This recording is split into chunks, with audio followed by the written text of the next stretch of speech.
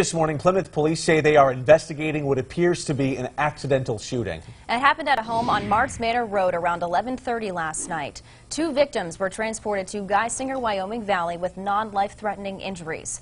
Plymouth police say the shooting was the result of the mishandling of a firearm. No word if any charges will be filed.